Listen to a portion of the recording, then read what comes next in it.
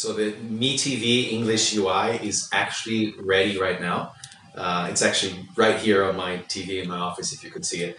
Uh, we haven't scheduled an OTA with it yet, but it should be in the next few weeks. Um, so pretty excited about that, and it's it's awesome.